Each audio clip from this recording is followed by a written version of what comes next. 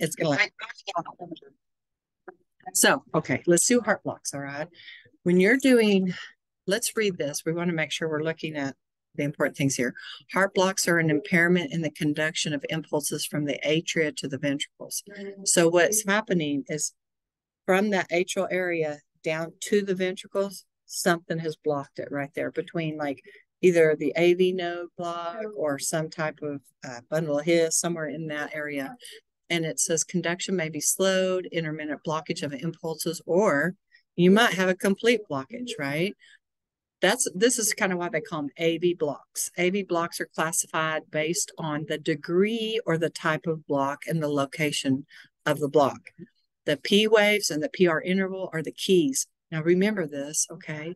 Because you're going to get confused. But we're going to, when we look at heart blocks, we're going to look at the P wave and the PR interval, okay? And it says the key to differentiating the degree of a block. The QRS complex and the ventricular rate are keys to differentiating the location. So when you look at the QRS, I always heard the wider the QRS, the deeper in the heart the block, okay? So, oh, and it says it there. The wider the QRS, the lower the location of a block and the slower the rate. The clinical significance of AV block depends on the type of block, the ventricular rate, and the patient's response. Okay, so what we're going to do, we're going to look at the same thing we always do, assess the rhythm, but we're definitely going to examine the P waves and the PR interval, right?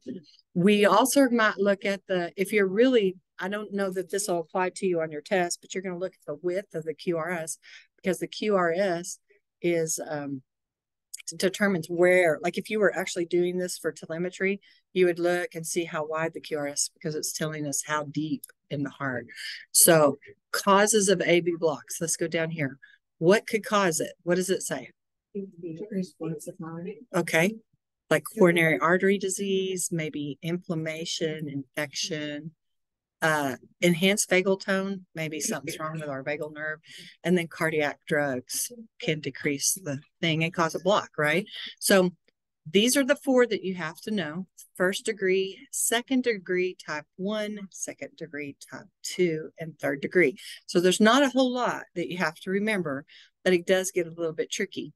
So if you're looking at a first degree, gosh, doesn't that look kind of like normal sinus rhythm right here? It, it kind of does. But if you really pay attention, it says the sinus impulse is normally conducted to the AV node, where it is delayed longer than usual before being conducted to the ventricles. This causes a prolonged PR interval. So a first degree, do you see how the PR interval is just a little bit longer? Um, so when you get on this test, it looks like normal sinus rhythm, but you really have to look at the, the length of the PR interval and what could cause that to happen. I really don't think this requires any medicine. It just says causes of first degree block would be what? Look at some of the drugs that you're giving, like Beta blocker, calcium channel blocker, even amiodarone, slow the rhythm of the heart. And then hyperkalemia, uh, rheumatic fever. Look at all the, the different ones here. I think I would know. Has she asked you before what causes what causes the rhythm? No, not really. All right. It really doesn't go over this. It's like us having to. You uh, having to go over your own self chart. Mm-hmm. So look, I was going to say this really doesn't need any treatment because there is a P, there's a P wave and a PR interval and a QRS, and there's really like still having blood flow. It just takes longer for it to happen. Mm-hmm. So if we look here, you'll see the PR intervals just a little bit lengthened, and it's like, what's the normal PR interval? What's normal? Isn't it 12 to 20? Yeah. Like 0.12 to 20. And this is 0.28. So just a tiny bit longer. It's almost like you have to be really good at reading these to, to see it. So this one, when you're looking at second degree, I want you to think longer, longer drop. Now you have a Wenckebach. Okay. So what you're going to see is the PR interval is going to go longer, longer, and then it's going to drop off. So let's look at this. A second degree type 1 is characterized by failure of some of the sinus impulses to be conducted to the ventricles. In this rhythm, the sinus impulse is normally conducted to the AV node, but each successive impulse has more and more difficulty passing through the AV node. And then finally, an impulse doesn't pass. Okay. So what it says is the EKG shows P waves that occur at regular intervals across the rhythm strip and PR intervals that progressively lengthen. So let's look at this. Do you see how it's a little bit long here? Probably normal than a longer than a normal one. And then it gets longer and then it drops. It drops off a beat. Mhm. Okay. So be aware when you're looking, doesn't that look kind of funny? It looks like something's missing. I don't think a Wenckebach is very hard to see because you're like, oh, it looks like something's missing there. whole QRS. yeah. Mhm. And so the PR interval, every time it, it beats, it has a harder time producing a ventricle contraction. The QRS complex is a misbeat and makes the ventricular rate irregular. After each drop beat, the cycle repeats itself. Isn't that weird? Hmm. Okay, so let's see what what could cause the us to drop a beat. Pretty much the same things, right? Mhm. So if you know what can cause it, and look at this as normal variant in an athlete at rest. Hmm. Hmm, That's weird. Yeah. So what are we going to do, to treat it? This says assess for signs and symptoms. Usually no treatment. Huh. Hmm. So there you go. You that's pretty easy, right? So what what are you going to do if you get on your test to to see this? So you're going to see this strip. Let's pretend and and you're going to say, how are you going to know that's a Wenckebach? Missing a whole QRS. Yeah, this one's not hard. So really the PR interval is what's going to tell us about it. And if you know that, it makes it super easy. Now here, if you saw a strip like this, you might go, okay, that's pretty long. That got longer and then it dropped off. So you might not see two in a row, right? But if you measure them, look, it's going to go from 0.24 to 0.48. So does this one have the same, does it say up there that it's just longer than, like, So I'm going to tell no, it doesn't say that, but what I'm going to tell you is anything that's longer than 0.20 is long. It's a longer PR interval. And it doesn't have to be like excessively long, but this is 0.28, so they know that's that's pretty long. And you can see here the QRSs are about the normal width. That we're not having any trouble with that. And let's look at second degree. Okay. So this one is just a little bit different. And it says a second degree type two is characterized by failure of some sinus impulses to be conducted to the ventricles. There is more than one P wave before each QRS, with only one impulse being conducted to the ventricles. Hmm, that's pretty interesting. So it's like the atria is like beat, beat, but only one of those beats goes to the ventricles and causes the ventricle to fire. The P waves are identical and occur regularly. The PR interval of the conducted beat may be normal or prolonged and remain consistent. So let's look down here. If you were to measure from here to here, from here to here, you see how it's consistently firing? But what you see is you you may mistake this for a T wave, but this is actually a P wave. And then there was no contraction. But it doesn't look funny because it looks like all the QRSs are happening. So what you really need to do is like measure from here to here and here to here, and there should have been one here, right? Um, as a result, the QRS complex may be narrow or wide. Second degree type two is more serious than type one. So, so far, a Wenckebach we don't treat. Type one, we don't treat. Um, but this one we're probably going to treat. And so it says it can suddenly progress to a third degree block. So a second degree can progress to a third degree. The hemodynamic effect is related to the rate caused by the non-conducted beat. The greater the number of non-conducted beats, the slower the heart rate. So if we were to look at this heart rate, we would just go, wow, one, two, three, four, that's 40. Slow. It's pretty slow. Um, what could cause it? Hmm. NMI, age-related degeneration. Uh, is there, it doesn't say, oh, here's the treatment. What are we going to do for it? I think this person's going to need a pacemaker, don't you? So temporary pacing, uh, it can be transcutaneous or transvenous or epicardial, either way. And then dopamine to make the heart work harder. And then epinephrine, probably got to speed it up. And then they might need a permanent pacemaker. So type two keep pacemaker with that one and the medications. So how would you recognize the strip on a test? What would you, what are you looking for? I guess you look for a normal, like. Mm-hmm. It looks normal right to begin with. and then See the P so there should have been some, something there. Mm-hmm. Sometimes a type two, I think it can have more than two beats. I think there can be like three. I don't want you to think it's only two P waves, but sometimes there can be three. And I think I think the next one will show us this. Okay. So look, we've got two P waves here. We don't have a beat. We have two. It looks just it just looks funny. I like how she gives you one that looks really obvious and then one that doesn't look super obvious. This is what makes it kind of hard when you're looking at the test. So let's look at third degree. Okay. So you have a third degree block. And what that means is this there is no relationship. Like the atria are doing their own thing and the ventricles are doing their own thing. Nobody is talking to anyone. So what it says here is no relationship between atrial activity and ventricular activity. So what you're going to see, and this is where you've got to count, is the P waves march out consistently and sometimes they're inside of the T wave. So this is a P wave, and then you would see a P wave here, and then a P wave here, and then probably right here and here.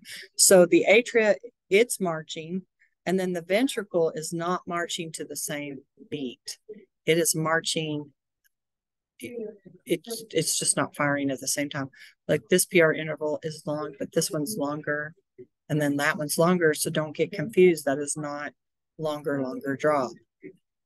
Um, the atria continue to be paced by the SA node. So what's happening is the top part of the heart is continuing to make the atria fire, whereas the ventricles are paced by an escape pacemaker located at the AV junction at a rate of 40 to 60, or in the ventricles at a rate of 30 to 40. So this is going to be a slow rhythm right here. The P waves appear at one rate and the QRS complexes at a slower rate, resulting in P waves that march through the QRS complex. Third degree block is serious and potentially life threatening, and it can progress to ventricular standstill. So this block, now I just want you to see, like it says the hemodynamic effects is dependent on the ventricle. So if the ventricle is really slow, it's going to not put blood around the body. So depending on how how much the ventricle's putting out. So if we look, I think we saw, I don't know if you noticed or not, but most all the blocks have hyperkalemia. Um, and then look what we're going to do. Pace, dopamine, and epinephrine. We're going to do a lot of dopamine and epinephrine with type 2 and then a type 2 uh, block and then this one. So how do you, what are you going to do to recognize this? This is going to be a tough one, I think. I remember seeing this and thinking, this is a tough one to try to decide what's happening. So you really want to run through them in your mind and go, okay, this it looks like it's two P waves. But sometimes what you'll think is you'll think, oh, there's a P wave, and then it dropped one, and there's a P wave. Hmm. So pay attention, like really count through your strip and uh, pay attention. All right, so you can see the P waves just marching through. They're beating their own rhythm. This one's a really good one to see. Okay, so let's look here. Let's make sure we know. All right, so first degree, the PR is consistent, but it's just a little bit longer, right? So we don't do anything for it. It's just the PR interval is a little prolonged. Second degree type one, what, what is that one? How do you remember that one? Longer, longer drop. Okay. Now you have a Wenckebach. A Wenckebach is a type one. And we're not going to treat this one either. That's still okay. Second degree type two is what? What would you see with that one? Do you see here it says two or oh, three waves or more? I don't know. I remember I remember on something I saw like four P waves, and I was like, well, that can't be a type two because there's four, and she only showed two, but but it could. So remember, uh, regular atrial rhythm. What would we treat type two with? Pace. Pace it. dopamine or epi, right? And that's what we're going to treat this one too. So, but what happens in the third degree block? What are you seeing? There's no relation to either thing. Exactly, exactly. So if you can get this, this will be really, really good. I'm, I'm glad to go over it. A pacemaker. So you, okay. Can you have two pacemakers? Mm-hmm. Okay. Where do they place the pacemakers? Where are they placed inside of the heart? Yeah. So the SA node and the AV node, they can do temporary pacing. So transcutaneous would be like external pads on the chest wall, and then the electricity passes through them. They can do what's called transvenous, uh, where you know you put the little electrode underneath the skin. They can do epicardial, which means after after CABG, the patient will come out of surgery with the 2 Mhm. pacer leads. And then they can do so make sure you know we can pace the atria, we can pace the ventricle, we can do dual pacing, and we can do biventricular pacing. Um, it it shows as a little line before the P wave or before the QRS. So here, what kind of pacemaker do we have? An atrial pacer. What kind of pacemaker do we have here?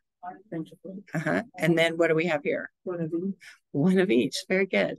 So this gets a tiny bit confusing, but it says the stimulus of the pacemaker to the heart appears as a pacer spike on the EKG. Captured pacing is when the pacer provides a stimulus or a spike. Mm-hmm. So if it captures it, you're going to see the spike. Mm-hmm. Now, this is where it gets a little confusing. See how little that is? Boom, boom. You're like, mm-hmm. is that a, what is that? Right? Um, over here, what are we looking at? Where's the pacer?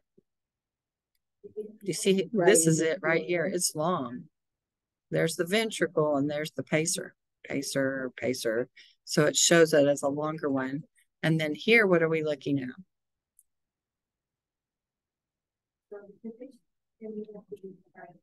Hmm, I think we're looking at two pacers here. That looks like the door. Yeah. I think we're looking at a a P wave and a QRS pacer. Do you see how the QRS got kind of wide down here? So let's look. Wh- I think she's going to ask you, what would you teach your patient about pacemakers? Because you've got to know what are you going to teach them? So teach the patient. Mhm. Yeah, don't lift your arm above your head. Um, teach the patient family how to take their pulse and, and log it. Instruct the patient on low heart rate setting on the pacemaker call the healthcare provider for, yeah, infection's big. For pacer with leads, the arm on the implanted side may be immobilized, not permanently, but for till it sets. Mm. And then limited movement, don't raise the arm above the height of the shoulder. There was a, a, a question on UWorld that said something about the patient had just had a pacemaker and had to get something off the top shelf in their closet. And what would you do or say? Restrictions on movement is limited until the patient's seen by the physician. So I think they're gonna ask you that. So let's look and see if we can see here. Now, this is, this to me is where it gets tricky, okay? Because if you have something failure to pace, what does that mean? Well, it says up there, the pace pacer does not initiate an electrical impulse when it should. So no spike on the EKG. So this would be like, we paced, but it didn't do anything, right? It failed to pace it. Now, failed to capture is an electrical impulse is generated by the pacemaker, but no depolarization occurs. I think this is failure to capture. I don't know. See, this is where I even get confused. So if you look, fail to pace, the pacer does not initiate an electrical impulse, which is really true here too. So they're both failed to pace and failed to capture. Or maybe the line? the, the line is the pacer, right? So would that be, that did pace, but it failed to capture? Yeah, I think so. There is a pacer spike without. And that one would probably be failure to pace right there, Mhm. there's nothing. Mm, Mhm. Oh, I see. So this one would be failure to capture. I feel like, Oh, yeah, it didn't generate an electrical impulse. So there's failure to pace and failure to capture. Now, this one is tricky because it says failure to sense. The pacemaker does not sense the patient's own rhythm and the pacer will fire somewhere where it's not supposed to fire. Hmm, Right yeah, fired, like, I don't even know where that is.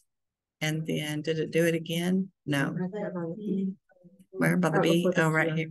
Okay. Yeah. So it did fire there. It just failed to fire here. Ooh. It did fire. So this, you're really gonna have to just look at those pace, failure to pace, failure to sense. Maybe she has a better way in class for you to Doesn't go over there. see that. So she- Yeah, okay. So let's look, we're gonna let, let me get out of this and we'll go to where it's not in print mode like this. We'll go to, hold on just a second.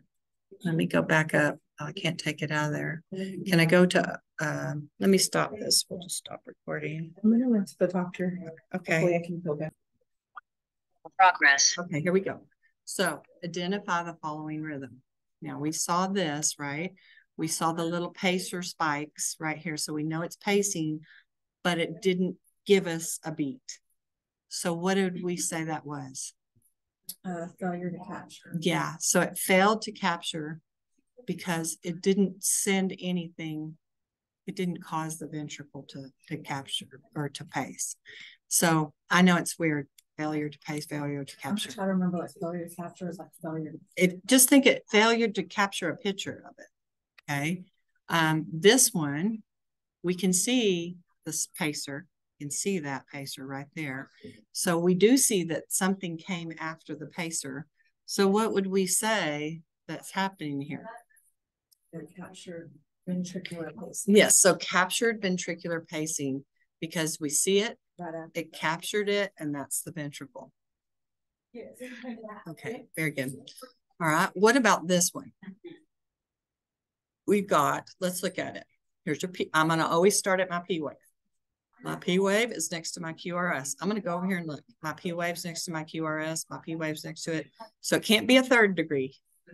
Because I have a P wave before each QRS. The third degree, you won't have that. Then I'm gonna look and I'm gonna go, okay, one, two, three. Hmm, I think this is a second degree. Remember, Mhm, second degree type two, you can have two or three. Cause your first, I'm trying to remember this in my head. Your first, you're gonna see the da da da drop. The second, you're just gonna have a bunch of P waves. Third, you're not gonna have the P, all the P waves. Mhm, And first degree, you're just gonna have that prolonged PR interval. mhm. Yeah, so this has got to be two. this, right? It's not a third degree, so I ruled that out.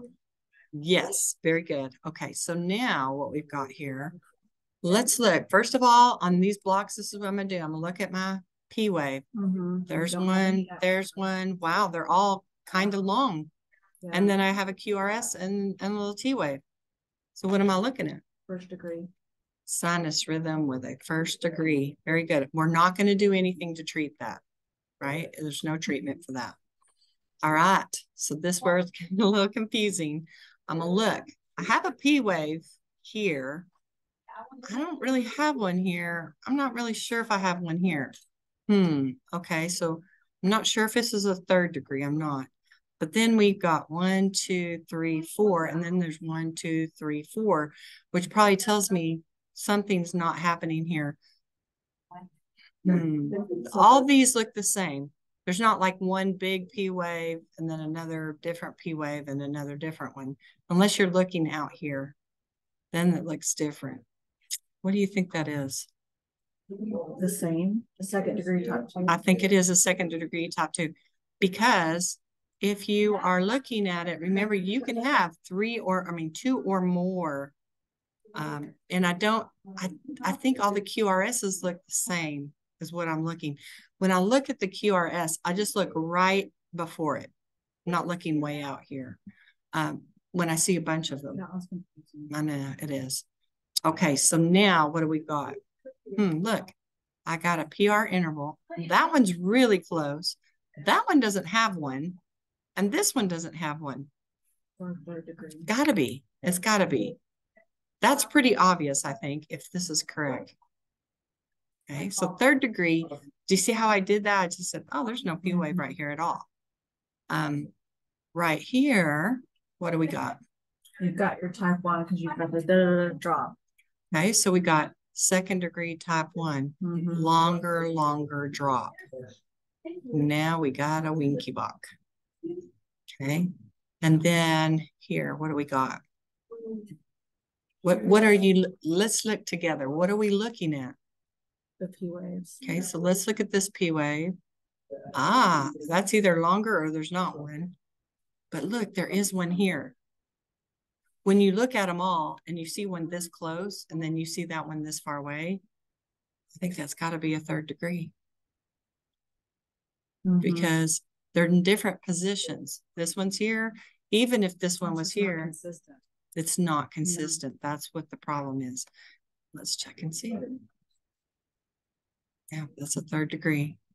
The more you do this, the better you're gonna get at it. Okay, so the second degree type one. yeah, those are pretty easy to see because you can definitely see where it dropped it off. Yeah. Yeah. Just you got it going on all the way through except for right there. Good job. There you go. So hopefully that will help to some degree. Uh, let's just